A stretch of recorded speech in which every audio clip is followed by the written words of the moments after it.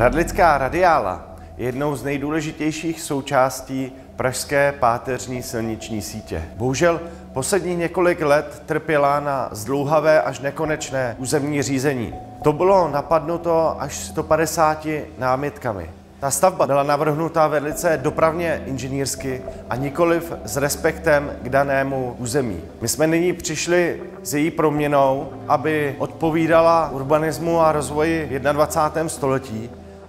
Tak, já vás tady vítám na dnešní exkurzi.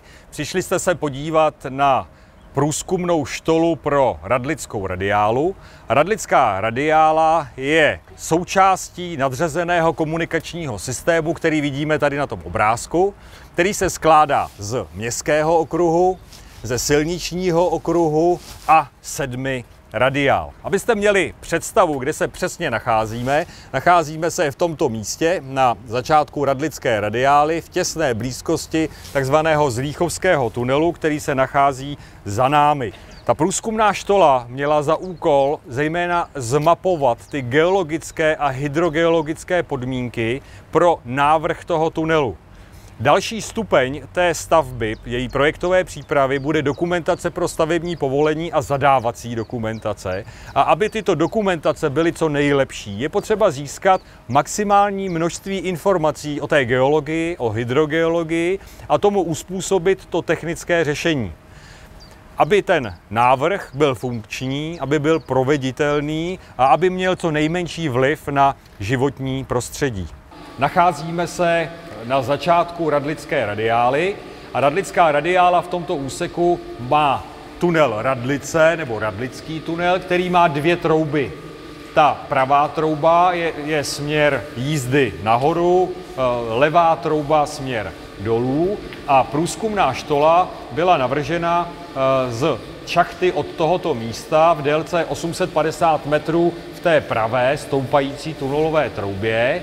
A protože této části byly zastiženy nesmírně komplikované geologické podmínky, tak bylo ještě rozhodnuto, že v délce 170 metrů bude vyražena průzkumná štola, která povede do té druhé tunelové trouby a proskoumá to složité území eh, ještě v té budoucí druhé tunelové troubě.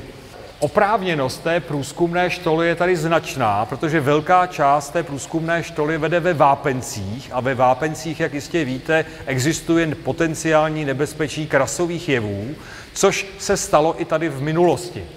Tady na té situaci je vidět stoka P, která tady byla realizována na začátku 90. let a v roce 1981 došlo k vykomínování eh, při výšce nadloží 100 metrů do toho profilu té stoky a ta stoka následně musela být přeražena a vedena jinudy.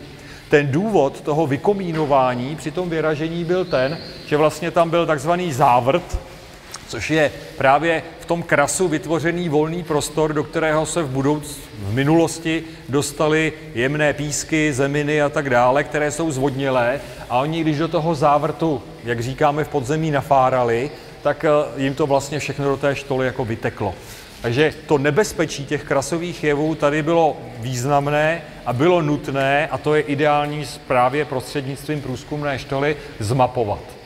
Geomorfologická skladba Prahy je nesmírně zajímavá a my tady máme vlastně k dispozici možnost poznat vlastně tři části geologického období. Všechny ty horniny jsou paleozoického stáří.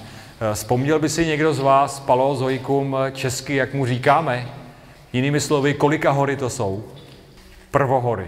Je to nějaké období 400 až 500 milionů let zpátky, řádově, neříkám to úplně přesně.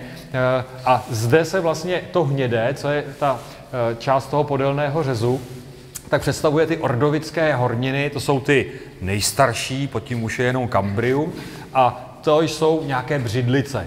Tam ta průzkumná štola končila. A v těch zbývají, a vlastně celou její trasu tvořily mladší a mladší horniny toho paleozoika, jako jsou ty eh, silurské vápence, a pak jsou tady další břidlice a vápence, ještě o něco mladší, devonské.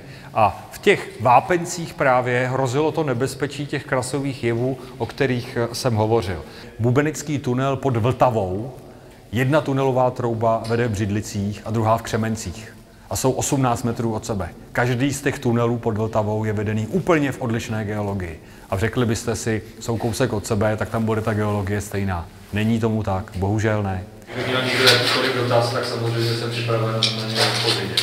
Dělají se tu nějaký výzkumy, třeba co se týká deformací, nebo to se sleduje teda tak jako tak, ale třeba životnosti toho primárního. Tak, to je, to je dobrá otázka. Uh, ta primární ostění je provizorní a to provizorní je definovaný projektantem a tady si myslím, že to máme asi teď přesně na tři roky.